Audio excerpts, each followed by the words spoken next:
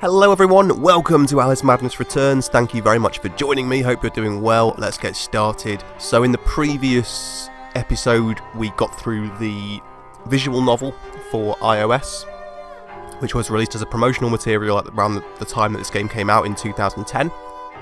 Now we're on to the main game, thankfully. Uh, I'm going to input my name here. Cool. We're good to go. Now,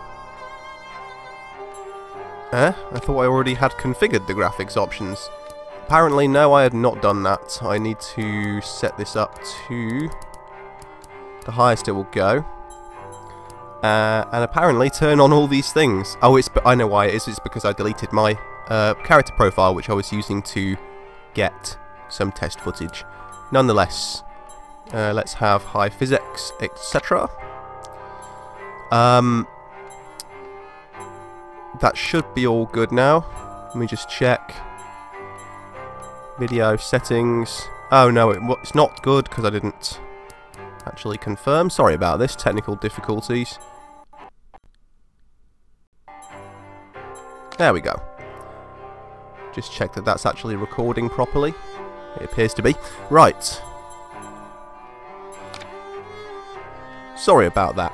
So, let's play this game. Now, I basically uh, had intended to use some shader mods on this with reshade and stuff, but I figured that actually the graphics as vanilla are uh, perfectly good because the art direction is very, very strong. The production values are a little inconsistent, which we will get to as we play the game, but what I have done actually is just edit a config file to unlock the frame rate so that we've got basically 61 to 66 frames a second, as opposed to the vanilla game which is locked at 30 frames a second. No thank you. PC Master Race, FTW, etc, etc. Let's play a new game. Gonna go on normal just so it's easier for me to talk over the top, although this game isn't especially difficult. I have completed it on Nightmare difficulty before. Here we go.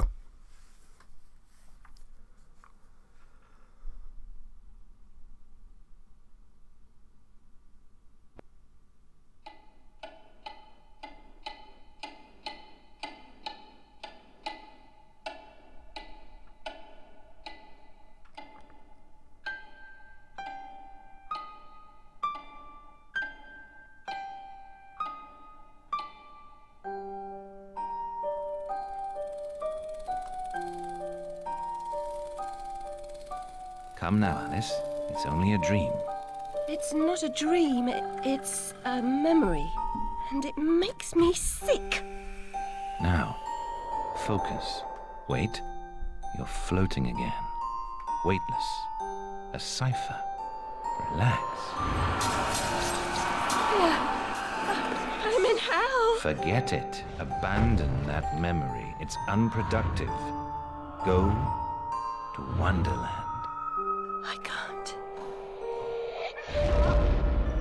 I'm trapped in my past. Sergeant, this girl's badly burned. Call for a doctor. She'll be all right.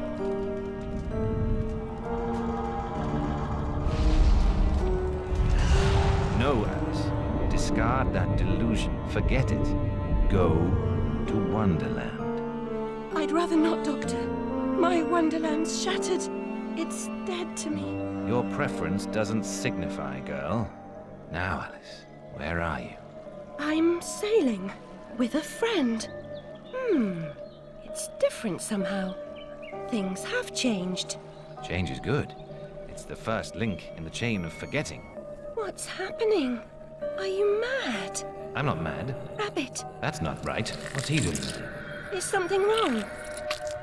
Something wrong? No, not that!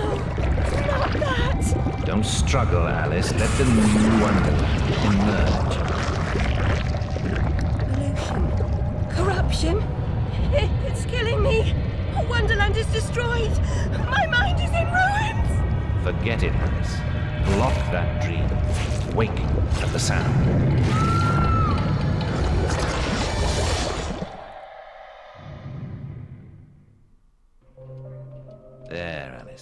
Better now, aren't we? My head's exploded and there's a steam hammer in my chest.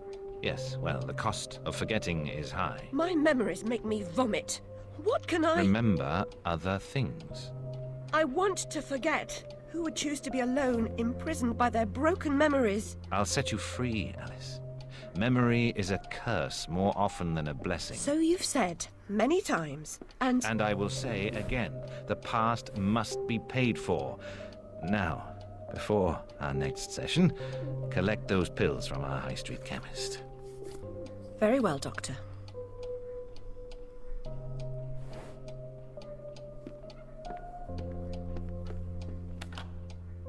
It's my turn to forget, Alice. Now, Charlie. Your pa was hung for killing your ma who beat you. Let's forget that, shall we? The past is dead, Charlie.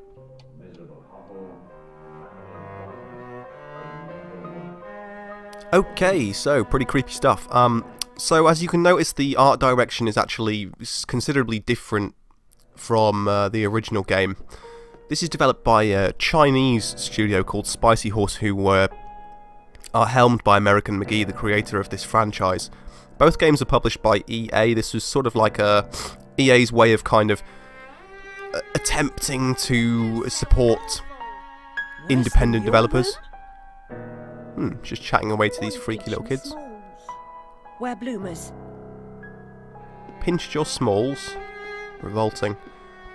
Uh, but yeah, there's some very nice bloom lighting effects, and uh, there are like NVIDIA PhysX things. Hmm. Um, as you can see here, you have these kind of. For the time, this was very advanced stuff. I remember like spending a long time messing around with this cloth. Cool. But um, the art direction is so good. I mean, like the attention to detail.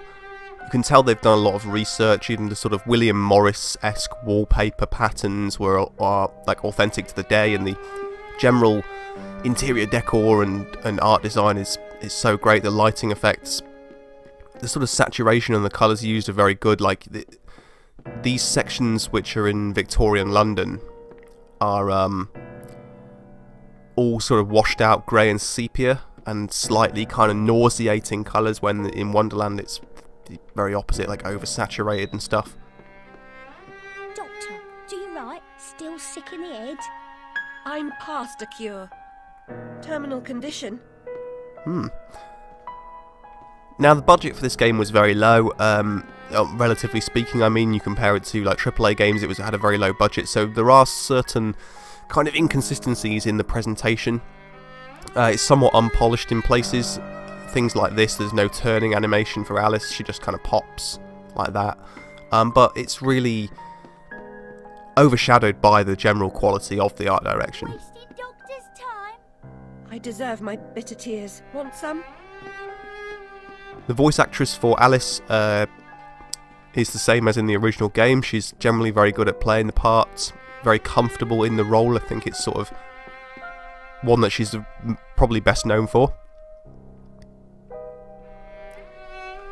Lots of allusion to the story of the original game, which we covered last time, where um, you know generally like Alice is is largely tormented by the fact that her family were killed in a fire and she was the only survivor. That's like warped her Wonderland, which is you know is kind of a projection of her subconscious. Years in the loony bin. No ma, no relation. She's an orphan. These extremely freaky children, the the general like uh, apart from Alice, who's fairly normal looking, all of the other like the NPCs and stuff all kind of look really caricatured in a sort of Mr. Mr. Kane had Punch no way. idea how humble a home could be. If not for my drawings and the photographs, this could pass for my room at the asylum. Nice Persian rug there. So this is Alice's room, I think. You can see here her family. Um, Alice is the older sibling, I think.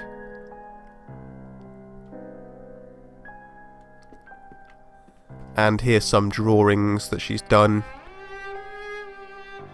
of characters from the first game. Uh, the chess pieces in the Pale Realm, the White Rabbit, the Hatter,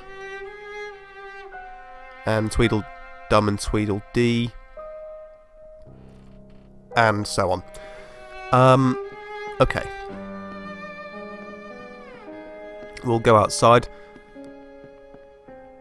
Doctor's pet. Too good for the asylum. Mad as a hatter without the charm.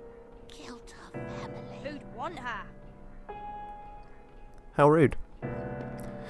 Okay, we can step outside onto the streets of Another Whitechapel. day, a different dream, perhaps. Now, these sections, basically in between the different um, sections of the game, there are these areas, these like little narrative sections in quote unquote the real world in Victorian London. These ones you can uh, navigate in first person if you wish. You don't need, you don't uh, have the ability to do that in the main platforming sections of the game. These kind of uh, newspapers and things being ruffled by the wind is all done with the physics. Looks very nice. Excuse me, sorry, I had to cough there. I think I'm getting consumption. Killing me back. They call work noble, bastards.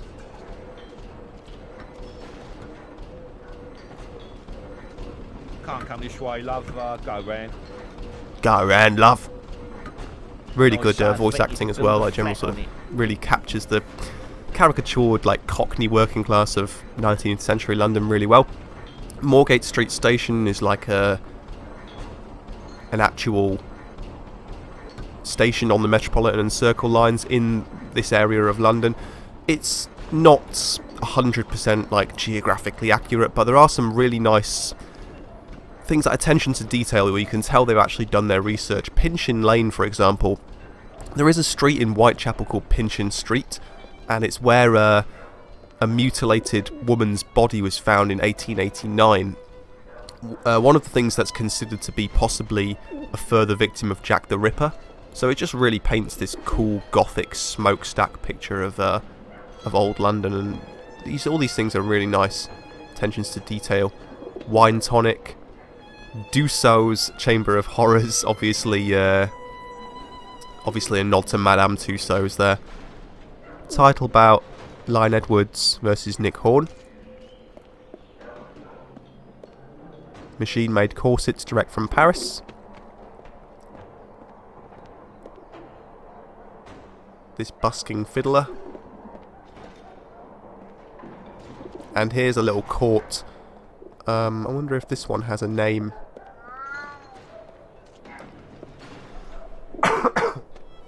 oh, I've got TB.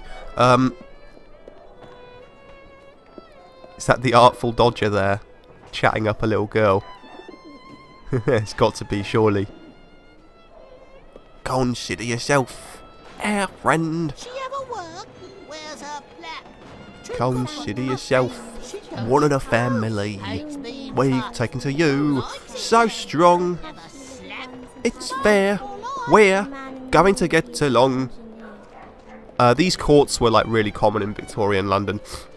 You can see the half-timbered building as well is uh, what these courts were kind of formed on. The medieval London, largely destroyed in the Great Fire of 1666, and then it was built, uh, rebuilt with um, brick structures. Very few of these buildings survive nowadays in actual London, but um, the ones that do are really interesting to go to. Whitechapel Market, real place. Uh, again, probably doesn't exist in the street map as in this game, but generally very well done. The uh, bonnets like that were an 18th century sort of throwback, popular until like the 1850s or something. Sorry, giving you guys a history lesson, but it's it's all very well designed. So Hang off, missy. Move along. fuck off, Mishy. Some like junky prostitute there with a very very thin corseted waist. I really like all that stuff. Jesus.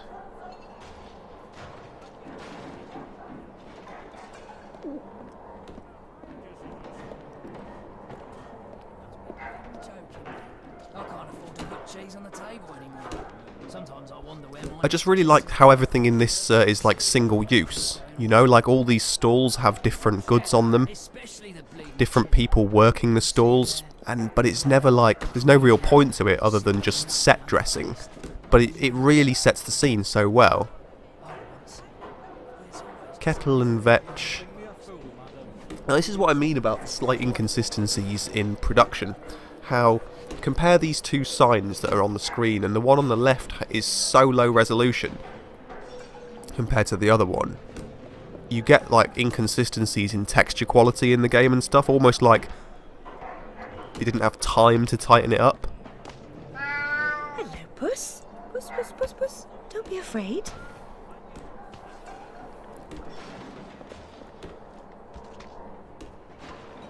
It's the dodo. Of course, featuring in the original Alice in Wonderland story. I'll teach him. Beat him good. Move along, Alice. I can run you in just for being off your nut. Police brutality, mate.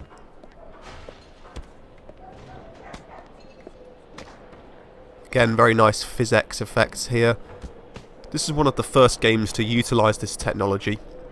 It was really popularised in things like Borderlands 2, I guess I remember seeing it, where you could open a toilet and like a flood of diarrhea would pour out everywhere.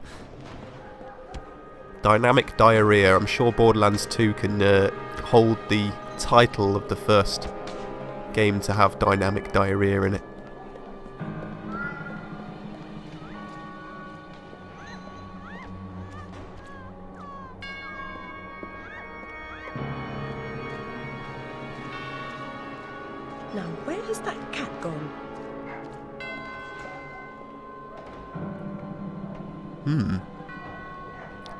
All living things die eventually, still a creature's remains are always poignant.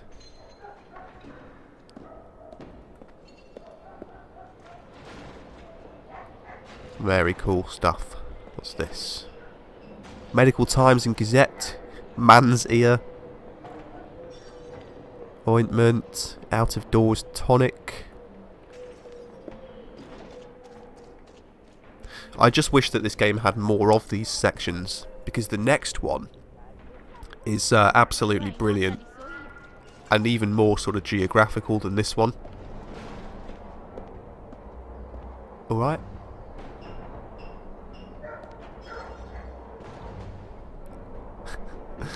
Looking pretty haggard there.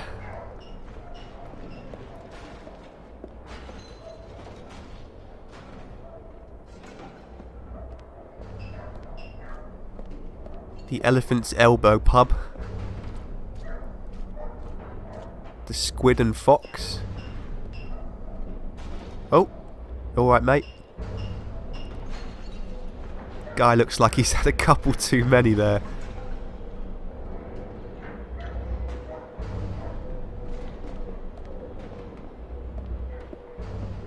He's definitely had. Like a real job. No changing nappies. Better than being a dog's body for orphan.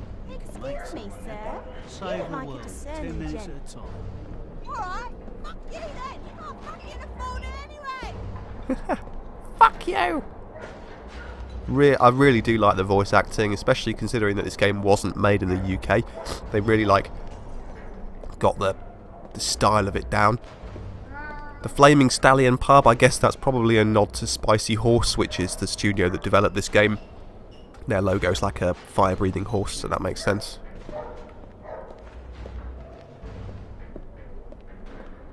Oyster and Co. Carpenter Company. You see, this is all uh, subtle nods to Alice in Wonderland. In the story of the Walrus and the Carpenter, uh, they were fighting over oysters, I think, weren't they? Yeah, they were. One of them ate the oysters and then lied about it or something. Seems Like- following furry creatures into dark holes has become a habit. I hope it's not a vice. Hmm. So, yeah, I think uh, they tricked the oysters into like coming and living with them so they could eat the oysters or something. I'm trying to remember Disney's Alice in Wonderland, which made a little song out of it. Mustard seeds and peppercorns and other seasonings. We'll mix them all together in a sauce that's fit for kings. Callooh Callay will eat today like cabbages and kings.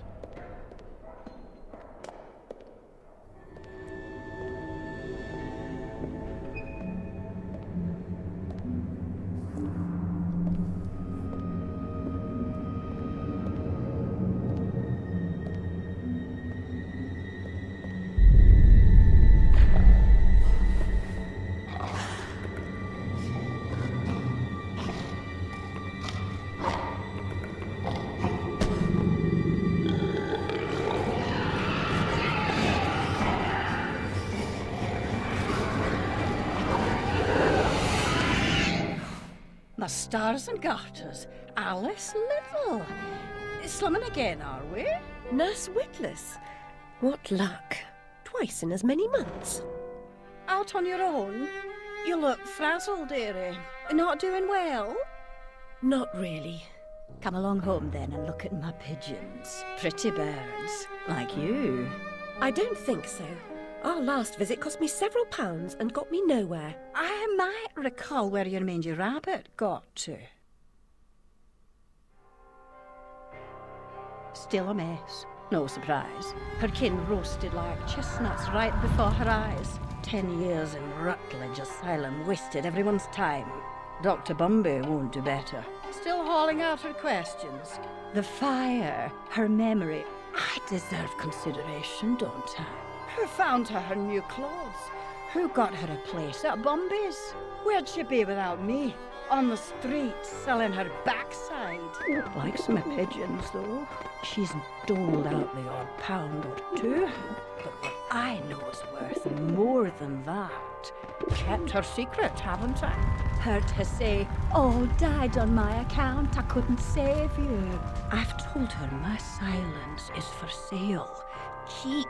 I'm a good sort, really. Not like her nanny, that uppity whore, or that lawyer fellow Radcliffe took her stupid rabbit. Need money. Warned her I'd tell the coppers if she didn't make a donation to my upkeep. She yells and goes off her head. Days she can't remember her name, what I heard.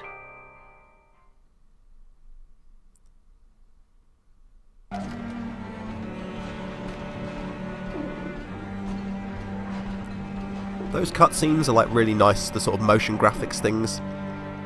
Kind of done in a modern style of cut, cut and paste animation, but with the kind of uh, the illustrative style of the original etchings from Alice in Wonderland. So it's just a really nice way of doing things. Out on the rooftops here of Whitechapel. The coop is really just a cage, but the birds don't seem to mind. Hmm.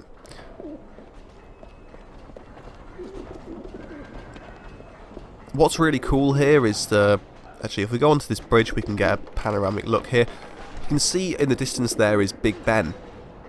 Of course, one of the really famous landmarks uh, in London, but what's interesting is that if you're in Whitechapel and you are looking towards Big Ben, you're looking roughly westward, and the sun is setting on that side, meaning that they've even consi considered which side the sunset will be on.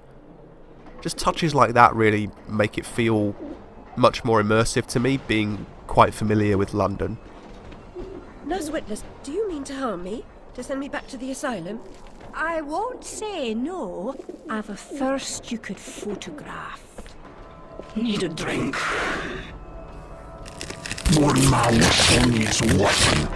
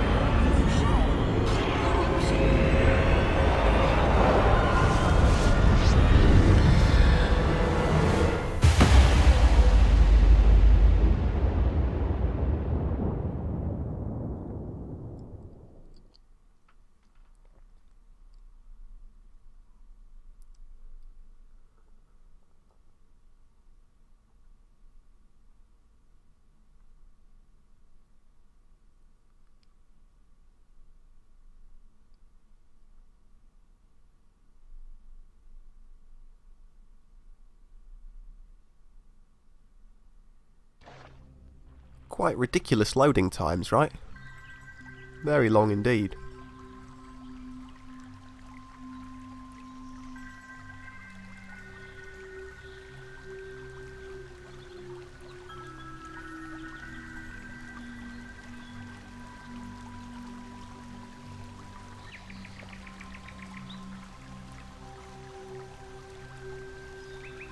Very upsetting journey. But I'm rid of Priss, or whatever she's become. At least the place I've landed is somewhat familiar. About time, too, Alice. Blasted cat. Don't try to bully me. I'm very much on edge. Perfect. When you're not on edge, you're taking up too much space. You're no help at all. But you know I can be. I'll frighten myself when necessary, thanks very much. I was hoping to escape from all that. Abandon that hope. A new law reigns in this wonderland, Alice. It's very rough justice all round. We're at risk here. You be on your guard. Hmm. Old friend Cheshire Cat from the first game, same voice actor. A fan favourite. Uh, obviously, it's uh, worth pointing out that Alice's outfit has changed to the costume that she wears in the original game, complete with blood splatters and uh, occult symbols. Now, her outfit actually changes in between. Well, it changes for each of the different areas of the game, like different chapters, all of which are set in different realms of Wonderland. Um, in between those realms, you occasionally get these uh, places which aren't really they aren't really full chapters in the game, they're just kind of in between sections. In this case, we're in the Vale of Tears, which is uh, an area from the book and also from the first game. And uh, you can see there is a freaky little fucker. Um, but in the in-between areas, so-called, she wears the, the outfit from the first game. Now we can jump around and we can twirl, and we can also float. I know we can't do that quite yet.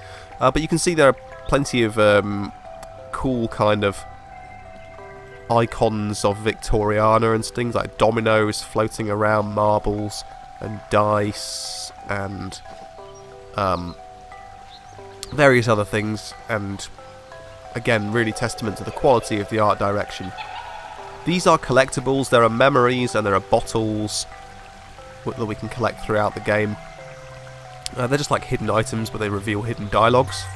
Frog, Alice, I swear, you jump so well. So that one was Alice's little sister, who died in the fire.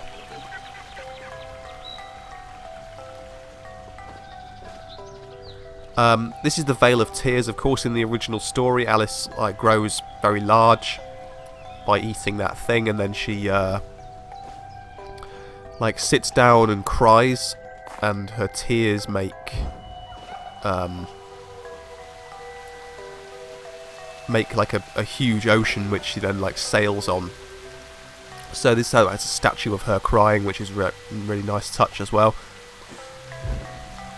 These domino platforms. This is first and foremost a platform game. It's kind of of the the old um, pedigree of like the really sort of classic style of 3D platform games, sort of like Mario 64, Banjo Kazooie. Uh, forthcoming Yooka-Laylee seems to be recapturing that style as well, rather than. I would say that 3D third person action games tended to change largely after Resident Evil 4, which was the first game that, if memory serves. If you leap from that table again, Alice, I'll expire. You're two times too reckless, my girl. Yeah, so I think, um, to be honest, that the fir- that Resident Evil 4 was the first game that I can certainly think of that that had the over-the-shoulder view, um, which basically changed platform games forever. I mean, there are things like Assassin's Creed that tend to be more classic style in the camera work, but the actual way that you play them is very different. And Assassin's Creed is obviously just adapted from Prince of Persia The Sands of Time. Amanita muscaria, Alice, is merely a stinky toadstool. A spongy consistency, but poisonous. These violets uh, indicate secret places. If we go down here, we can see this is the, the Drink Me potion um, from the book which made Alice shrink and it's forming this lake.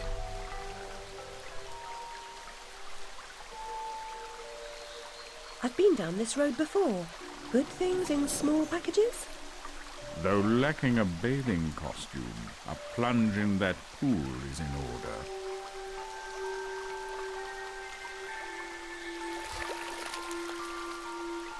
My god, I'm shrinking in this potion. Sh shall I disappear? Almost. But the upside is that while smaller, you can see things that are nearly invisible to your bigger self. Ah, I get it. Quite. Forests for the trees. Just the other way round. Short sighted is more than a matter of perspective.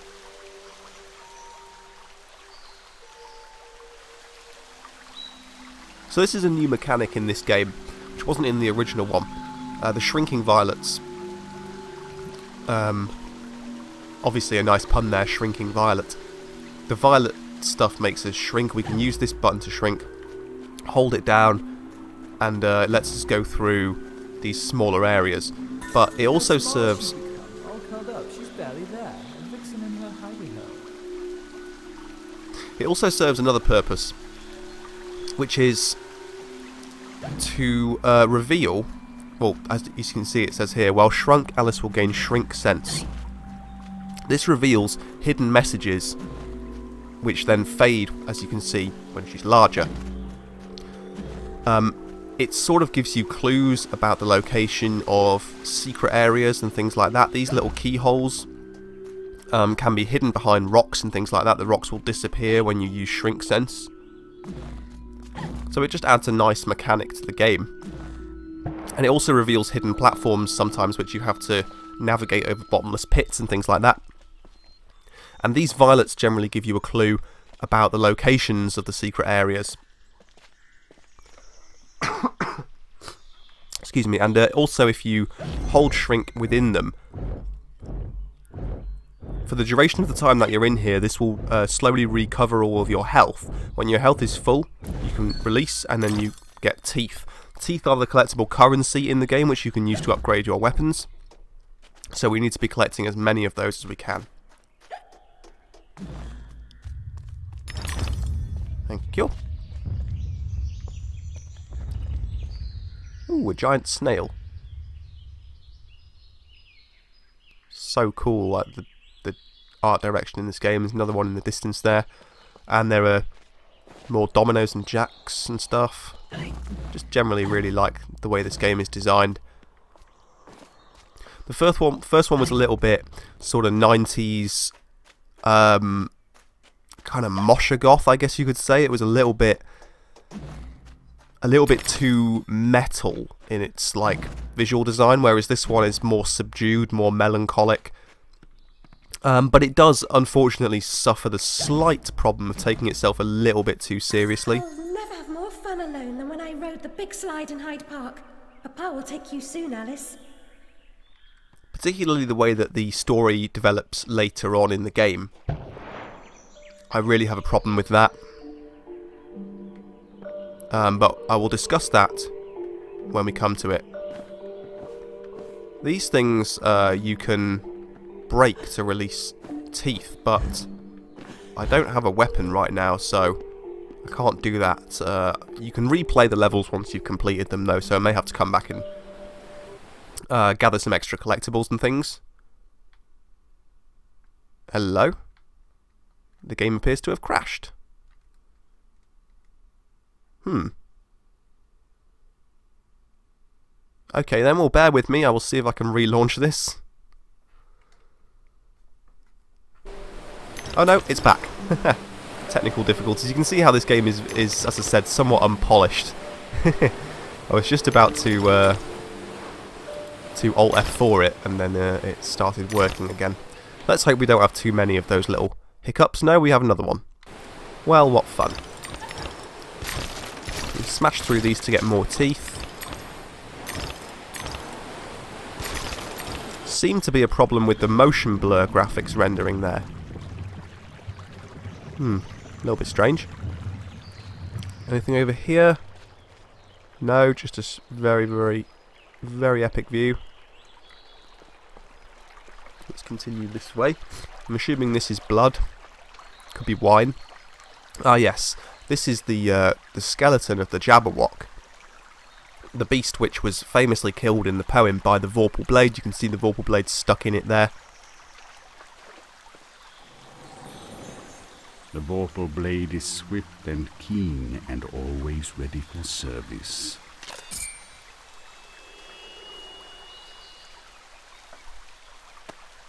I've not come back here looking for a fight. Really?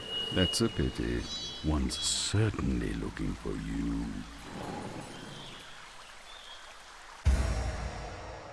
You have just obtained the Vorpal Blade. It goes snicker snack, it leaves them dead as seen in a previous poem. The Vorpal Blade inflicts the swiftest damage to a single target at close range. Sweet. To generate some enemies. Okay. We can combo uh, by repeating, repeat, pressing the button. Um, it also kind of stun locks enemies. It's a very, very useful weapon. Easily my favourite weapon overall. Although, uh, in conjunction with the other items, it's uh, pretty dangerous stuff. Flight or fight implies a permanent choice. But flight often just means putting off the fight to another day. Choose your battles wisely, Alice. Thank you.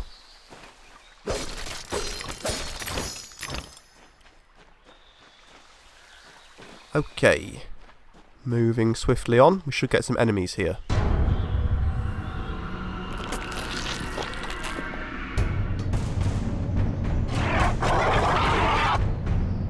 Insidious Ruin. So the Ruin enemies are uh, new and unique to this game, they weren't in the original where the enemies were uh, more kind of in keeping with the original source material. This is like the new thing which is corrupting Wonderland. You can dodge like so by turning into butterflies. It's basically this game's version of like an evasive roll from say like uh, 3D Zelda games or Souls series.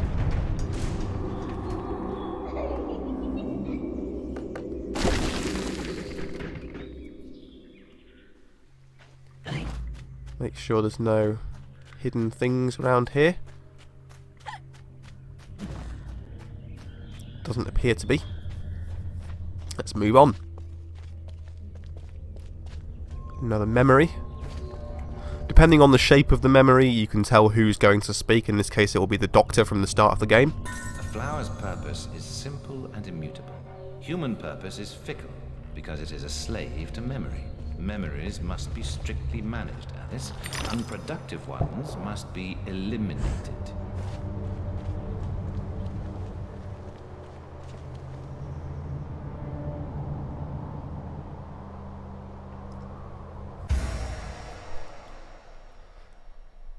We now have the ability to float. And we can twirl multiple times in the air. Yes, three times before we have to land.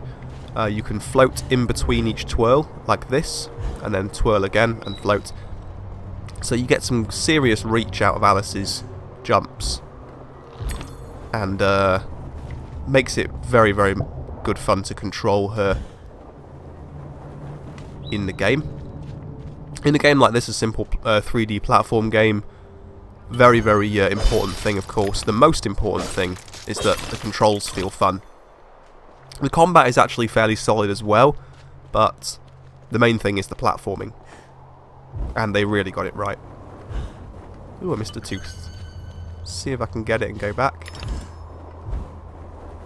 Yeah, so that's what I mean about the, the dynamic jumping. Gives you a lot of options, which is good. Down here we can see the Duchess, classic uh, character from Alice in Wonderland. Ah, it's you again, Alice. You may approach. Why would I do that? You want to eat me? Yes, well, you taught me manners, and I've lost my taste for mad women. Strictly a porcine diet for me. Everything's better with bacon, don't you agree? Of course you do. Now, there are pig snouts scattered about. I heard a few behind the house. Go fetch them for me. But take care for the pests that block your way. Pepper them up if they do. They need spice, and you're just the dish, a girl, to season them for me. You'll find that grinder serviceable. Why not season your own pick parts? Matter of priorities. My alabaster skin needs protection from the disgusting creatures running amok amidst the environs. But one gets peckish. Look, all you have to do is listen for the oink, then shoot the snout. You may like the results. I certainly will. Fairly grotesque looking. I like it. Uh, ooh, gold tooth. The gold teeth are worth, let's see, five. So, that's all good. Uh, the pepper grinder, our next weapon. You have just obtained the Duchess's Piglet Edition pepper grinder. Spice up your foes, prepare savoury snouts. We can use R3 to uh, go into sort of over-the-shoulder aiming mode. The pepper grinder is like a machine gun, as you can see. You can fire flaming peppercorns, and the uh, meter in the top right indicates the heat of the pepper grinder. If uh, we fill it up, it overheats, and we have to wait for it to cool down before we can fire again. There we go. Uh, so it's about managing that kind of thing. This keyhole is barred for now, but uh, we will get to it once we've done the Duchess's thing. Bolterflies are small flies which uh, are made of like nuts and bolts. They, they spawn from these nests and they keep spawning until you destroy the nest and when you destroy the nest one more spawns as well. They aren't tough but they can mount up on you when you're in the like situations where you're being ganged up on by various kinds of enemies. You have to take these things out first really because uh, because otherwise things like this happen.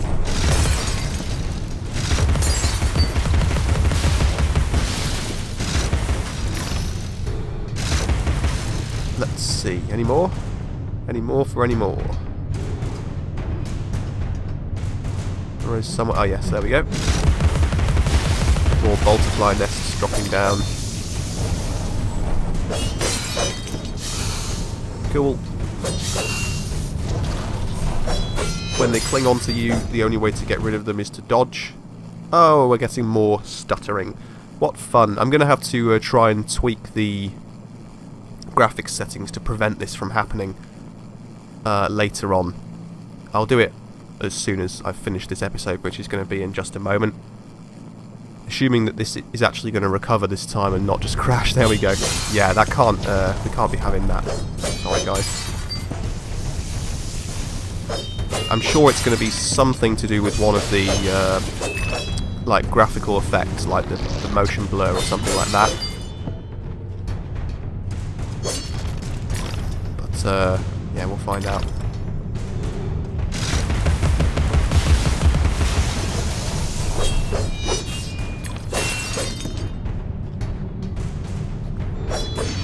Ruin as well. The roses give you health back. Your health is indicated by the rose bush on the top left of the screen. Throughout every domain, keep an ear out for snouts. Enter aiming mode and shoot the snout with the pepper grinder. Once the snout is full of pepper, it will re reveal paths and collectibles. So, these are like things that you can hear them going, like snuffling in the background. And when you find, they're always like quite hidden from view. And when you find one, you pepper it, and it will sneeze and reveal hidden passageways and hidden items and things like that. So they're always indicative of secrets. Oh, what fun. More stuttering. Right, I'm sorry about this. This is like... Gonna have to get this fixed before the next one.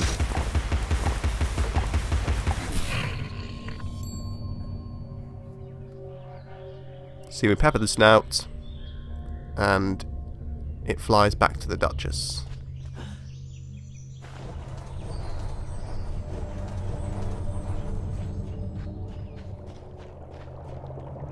Thank you so much for the snout. Now go away. well, she's given us a gift.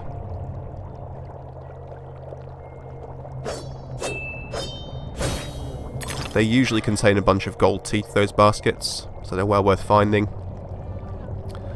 And uh, we'll go through here. And I am going to end the episode here. Next time, we will go further into Wonderland and hopefully I will be able to fix those uh, graphical issues thank you very much for watching this episode. I hope you enjoyed it. If you did, do consider pressing the like button as that does really help me, helps get the video out there, and I'll see you next time for more Alice Madness Returns. Take care, guys.